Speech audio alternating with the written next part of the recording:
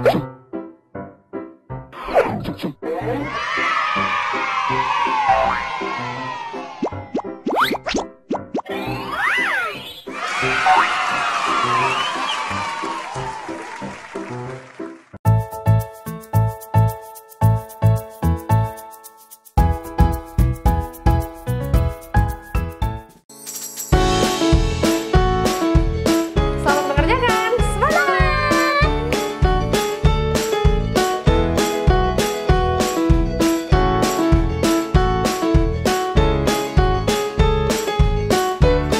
Selamat pagi adik-adik kelas 4. Gimana nih kabar kalian? Semoga kalian tetap semangat ya teman-teman. Adik-adik, kalian lihat peta besar kan? Nah, kakak ingin tahu nih, adakah peta di dalam rumah atau di sekitar rumah kalian? Dan apakah bentuk peta itu? Kalau di rumah kami ada sebuah peta dunia yang tertempel di dinding dan juga ada bola dunia milik ayah aku. Kalau kalian gimana teman-teman? Yuk kita pelajari lebih dalam lagi. Jangan lupa siapkan buku latihan kamu ya. Dan juga berdoa sebelum belajar. Agar semua ilmu yang kita pelajari jadi bermanfaat. Adik-adik, udah tahu kan kalau hari ini seperti biasa kita akan membuat proyek akhir minggu. Nah, proyek minggu ini adalah membuat peta provinsi tempat tinggal kamu. Teman-teman udah nyiapin bahan-bahannya belum? Aku ingatkan lagi ya. Jadi kita harus menyiapkan kertas karton, buku berpetak seperti ini, lalu pensil, pensil warna, penggaris, dan Gambar peta. atau boleh juga hasil print provinsi tempat tinggalmu ya. Tapi sebelum kita mulai, ada baiknya kita membuat rencana pembuatan peta provinsi tempat tinggal seperti ini. Kamu bisa membuat tabel rencana ini di buku latihan kalian ya. Aku sebutin ya. Tulislah terlebih dahulu nama provinsi tempat tinggal kalian. Kemudian, tulislah simbol yang akan digunakan. Lengkapi bagian peta seperti sungai dengan simbol garis meliuk, gunung dengan simbol segitiga, kota dengan simbol lingkaran, tengara yang paling terkenal bisa digambar dalam ukuran yang super kecil dalam peta dan lain sebagainya. Tulis juga bahan dan alat-alat yang akan kita gunakan. Lalu, baru deh kita mulai merencanakan langkah-langkah kegiatan kita. Buat tabel sederhana seperti ini di buku latihanmu ya. Akhir acara nanti, kita akan membuat petanya bersama-sama. Namun sebelum itu kita simak dulu yuk sebuah cerita seru yang satu ini. Selamat pagi anak-anak ibu tercinta. Hari ini ibu akan membacakan sebuah cerita rakyat dari Sumatera Barat yang berjudul Lebay Malang. Pengarang dan penerjemah cerita oleh Ida R. Yulia dan ilustrator Hilman Makluf. Selamat menyaksikan. Senyum angkuh lebay mengambang. Apa yang membuatnya senang? Oh, ada dua undangan kenduri. Dua kenduri berarti dua kali makan. Angkuh lebay ingin semua makan. Rendang di ulu canda ruang karyang, jo ado campuran ubi nan badarua. Randang di ilir basah baminyak. Bakalabiahan ingin randang karyang nan banyak-banyak. Baiklah, kita ke Ulu dulu. Berat sekali perjalanan ke desa Ulu. Keduanya lelah karena harus melawan arus. Kapan kita sampai kalau begini terus? Oh, itu ada Pak Guru. Ke Ulu ia menuju. Daging sapi di sana pasti berlimpah. Ikutkah? Ah, itu Mak Gai. Kenapa ia tampak meringis? Rendang diilir kurang empuk. Giginya jadi sakit. Ikutkah? Lebay jadi ragu. Dia tak ingin sakit gigi seperti Mak Gai itu. Lebay memutuskan berbalik arah ke Ulu. Ia pun berpisah dengan Pak Guru. Saat menuju Ulu, Lebay bertemu dengan Datwa.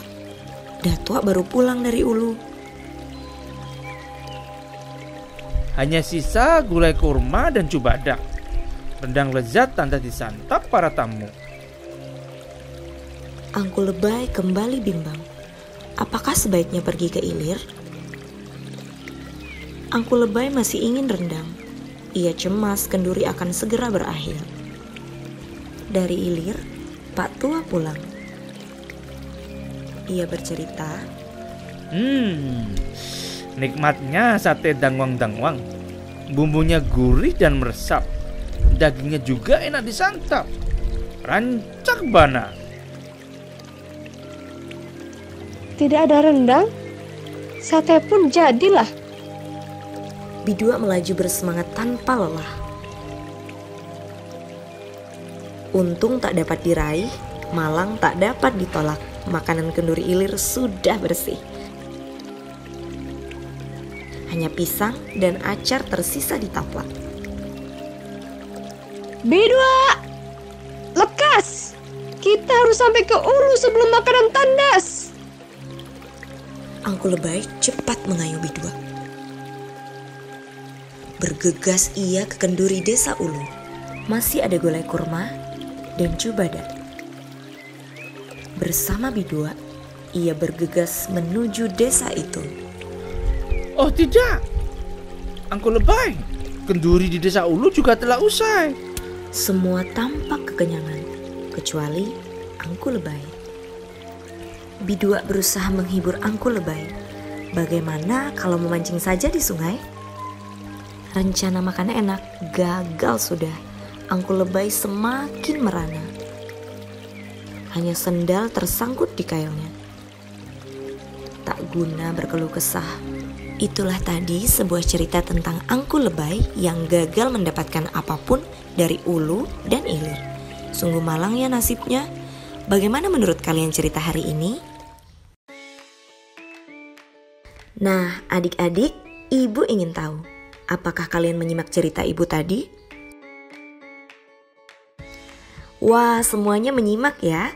Kalau begitu, adik-adik tahu tidak? Apa sih yang diinginkan Angku Lebay dalam cerita tadi? Apa? Coba sebutkan dengan suara lantang. Ya, Angku Lebay menghadiri dua kenduri yang di Ulu dan di Ilir karena ia ingin makan dua kali. Nah, untuk pertanyaan selanjutnya, catatlah pertanyaannya, lalu tuliskan jawaban kalian pada buku latihan kalian ya. Sudah siap?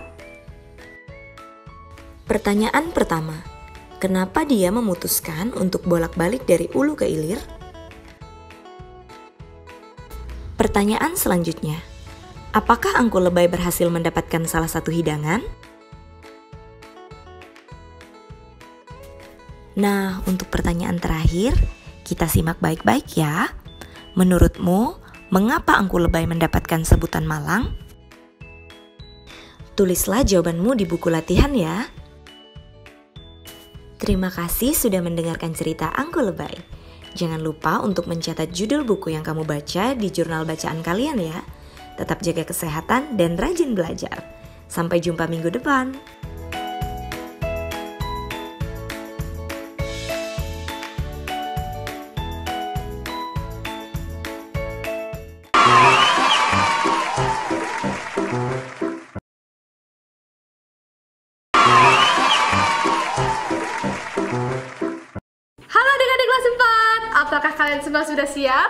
Siapa nih yang sudah tidak sabar untuk berhitung?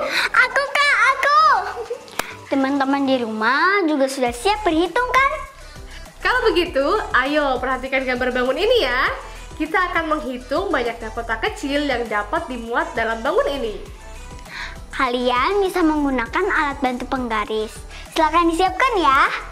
Langkah pertama, untuk mengetahui banyaknya kotak kecil yang dapat mengisi ruang bangun ini, buatlah garis-garis horizontal selebar ukuran kotak pink yang sudah ada di dalam ruang pada bangun ini. Seperti ini. Jika garis horizontal sudah dibuat seperti ini, kita bisa lanjutkan ke langkah kedua, yaitu membuat garis vertikal.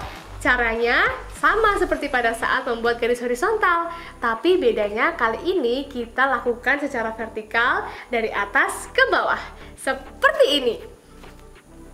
Kalau sudah begini, kita hanya tinggal menghitung seluruh kotak kecil yang mengisi ruang pada bangun ini.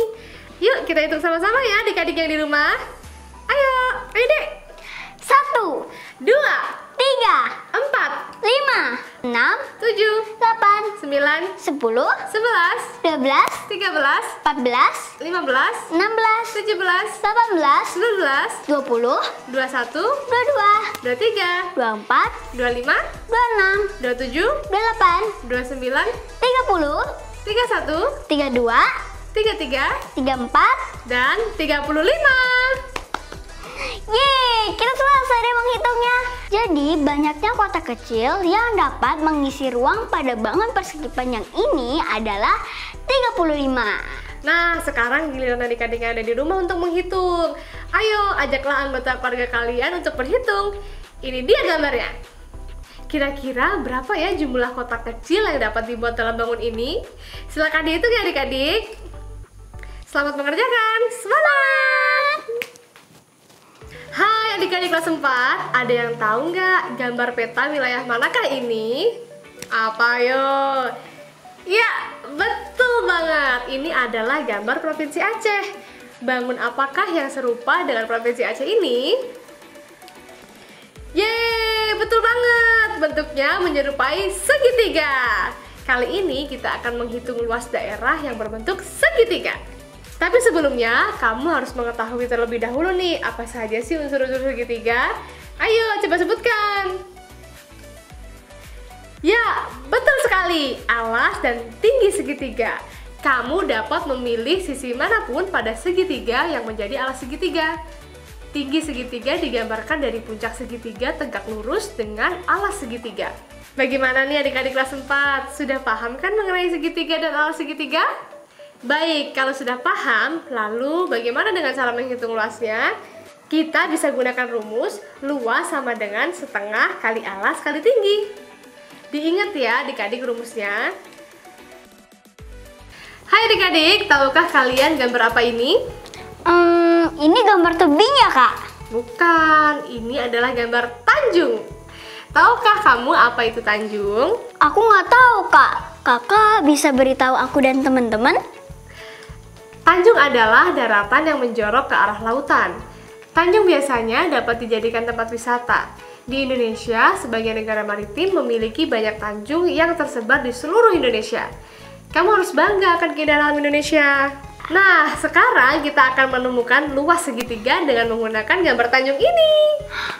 Kok bisa, Kak? Mana bentuk segitiganya? Ada kok. Yuk, adik-adik yang di rumah perhatikan gambarnya juga ya. Gimana? Sudah kelihatan belum bentuk segitiganya? Wah, iya, Kak, kelihatan. nah, mari kita hitung panjang dan lebar persegi panjang ini. Kita hitung panjangnya dulu ya. Mana nih sisi panjangnya? Ya, betul banget. Sisi bawah dan sisi atas. Dua-duanya menunjukkan panjang. Kita tinggal pilih mau gunakan sisi yang bawah atau yang atas ya.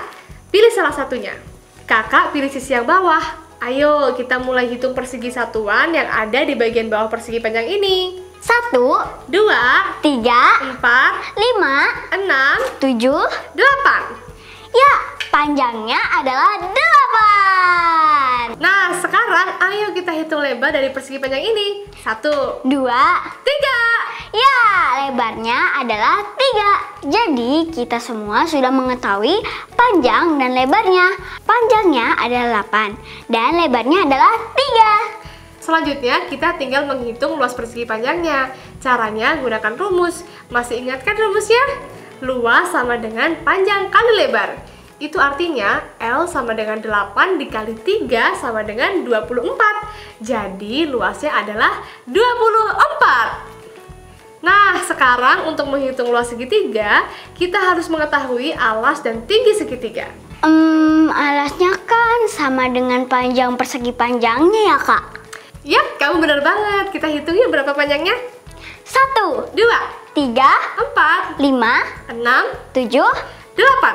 Jadi, panjang alas segitiga ini adalah 8. Betul kan, Kak? Betul banget. Lalu gimana nih dengan tingginya? Tingginya itu yang tegak lurus dengan atas berarti yang ini ya, Kak? Betul sekali. Adik tahu nggak berapa tingginya? Ehm, Kita hitung aja yuk tingginya bareng-bareng.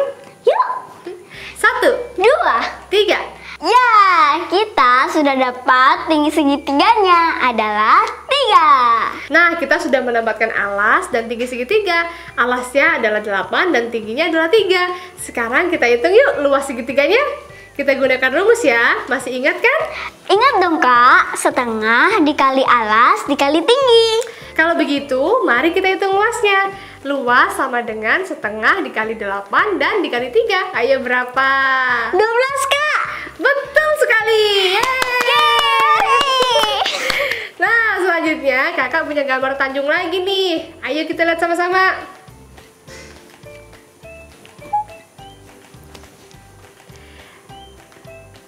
Dan berdasarkan gambar Tanjung ini, ayo sekarang coba kalian jawab. Berapakah panjang dan lebar persegi panjang ini? Berapakah luasnya? Kemudian, berapakah tinggi dan alas segitiganya? Berapakah luas segitiga ini? Untuk menghitung luas segitiga, adik-adik masih ingat nggak caranya? Ya, menghitung luas segitiga bisa dilakukan dengan cara menghitung banyaknya persegi satuan yang ada di dalam segitiga. Jangan lupa gabungkan persegi yang tidak utuh menjadi persegi yang utuh. Selamat mengerjakan ya! Semangat!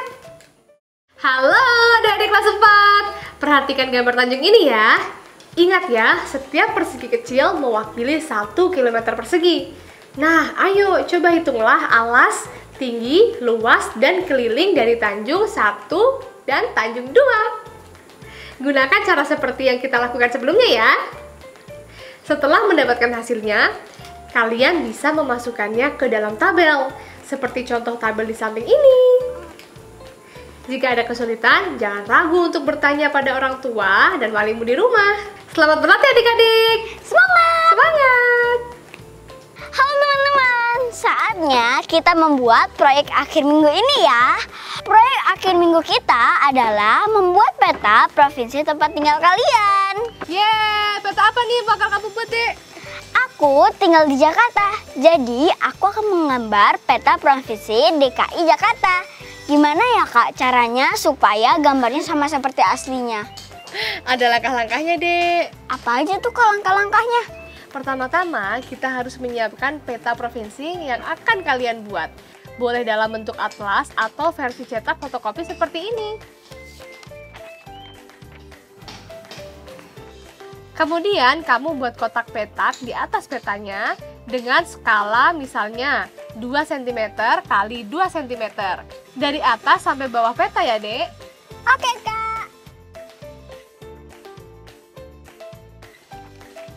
Udah kak. Nah, kemudian berikan keterangan alfabet di luar garis vertikal atau garis tegak ini ya. Oke kak.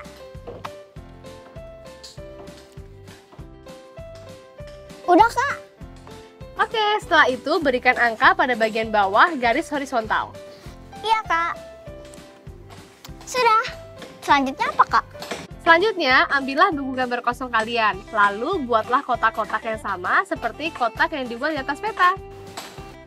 Ukuran sisinya tetap 2 cm kali 2 cm kak. Nah, jika ingin membuat peta yang lebih besar dari gambar peta aslinya, kita bisa ubah ukurannya menjadi lebih besar. Misalnya 4 cm di setiap sisinya. Adik-adik di rumah juga bisa menggantinya dengan ukuran yang kalian mau ya. Tapi buat saran aja nih, tidak perlu terlalu besar ya ukurannya. Bisa dicoba dari ukuran 4 cm aja.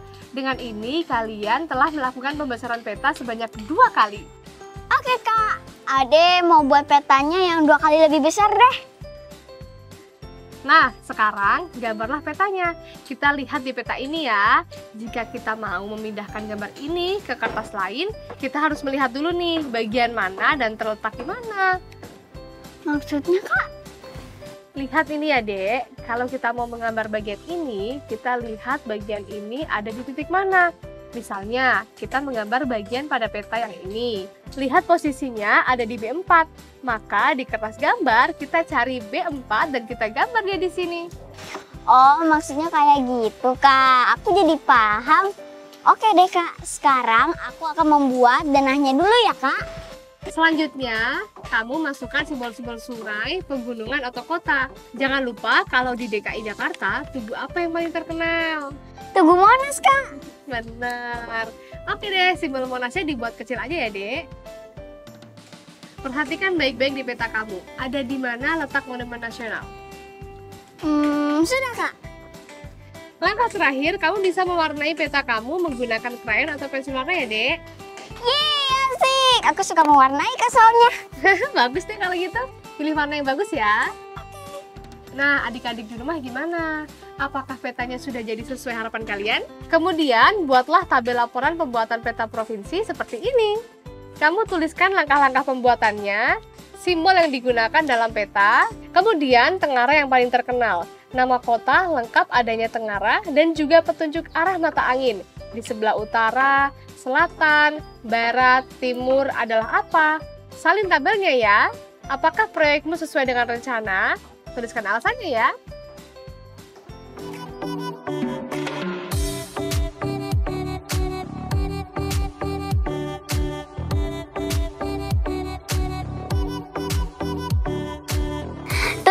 Teman-teman, setelah kita membuat peta tadi, yuk kita mulai mencari tahu tentang provinsi tempat tinggal kita. Jawab pertanyaan-pertanyaan ini dengan benar ya di buku latihanmu. Pertanyaan pertama, carilah informasi tentang luas provinsimu yang sebenarnya. Pertanyaan kedua, berapakah luas provinsi pada peta yang kamu buat? Selanjutnya, ambillah selembar kertas, lalu buatlah beberapa buah persegi panjang yang menutupi petamu. Kamu juga dapat membuat sebuah persegi panjang yang besar. Ukurlah persegi panjang tersebut dan hitunglah luas petamu dengan persegi panjang tersebut. Dan yang terakhir, buatlah hal yang sama dengan nomor tiga. Gantilah bangunnya menjadi segitiga.